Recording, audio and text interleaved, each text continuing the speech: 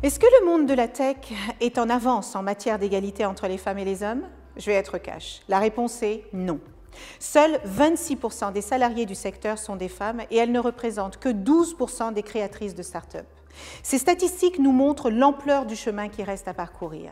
Les métiers du numérique ne doivent pas être un entre-soi, un monde replié sur lui-même dont une partie de nos concitoyens plutôt citoyenne serait exclue. Au contraire, la tech peut et doit être l'un des creusets de l'égalité entre les femmes et les hommes et de la diversité.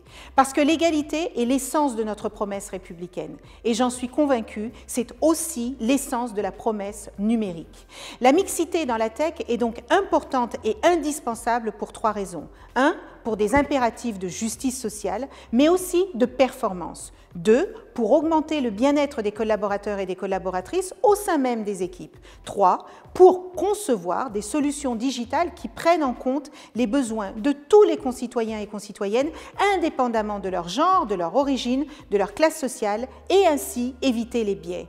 Une des solutions pour accompagner les femmes vers le numérique, c'est de leur proposer des formations plus attractives et plus inclusives.